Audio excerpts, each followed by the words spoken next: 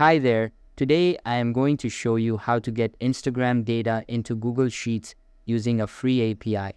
First, open any type of preferred browser on your PC and search for rapidapi.com. After that, sign into your account and you will be redirected to the home page. Now, if you go to the API Marketplace, you will be able to see all of the available APIs that you can use. You can just look around the whole section of the marketplace and find the ones you prefer. If I go to the search bar at the top and search for Instagram, you can see that all of the APIs related to the topic I just searched have appeared on my screen. We've got Instagram Premium API, Instagram Looter, and some others along with it. For this example, I am going to use the Instagram Scraper API. Simply click on the target API and this type of window will open up. Here, you will have all of the required details like API key, endpoints, and code snippets. In order to get started with a certain API, you will need to subscribe to it first. For that, click on the Subscribe to Test button at top right corner and all of the available plans will start displaying. We've got the Basic Plan, Pro Plan, Ultra Plan, and the Mega Plan. All of these are priced differently and have different perks to them. So make sure to look for the one that you would like to subscribe to and click on the Choose This Plan button. If you don't want to get a paid plan, you can also go with the basic to get the API for free. After selecting the plan, make sure to link a debit or credit card with your account.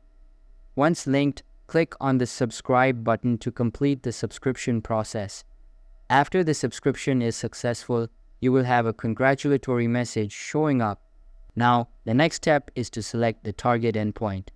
In this API, there are various endpoints available and you can choose any one of them. But if you are integrating a different API, then the number of endpoints may differ. After selecting a specific endpoint, get to the code snippets section at the right side and make sure to select shell and curl in the target and client fields respectively, as this snippet helps in getting the header keys easily. Now that you've got Rapid API set up, it's time to move on to Google Sheets. But first, you will need to install the Apipheny extension.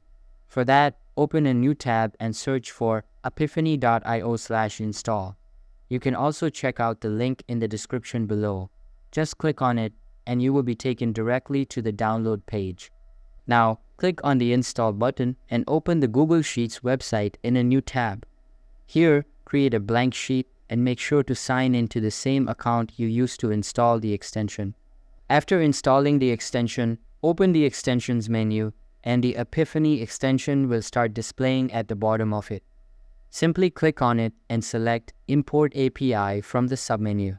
Now wait for it to load and a new side panel will appear on your screen. You will have the URL field at the top, then the reference and cell values section beneath it. For the URL, go back to the Rapid API website and then copy the URL from the Code Snippets tab. Once copied, go back to Google Sheets and then paste the link into the top bar. As for the headers, make sure to add two new fields.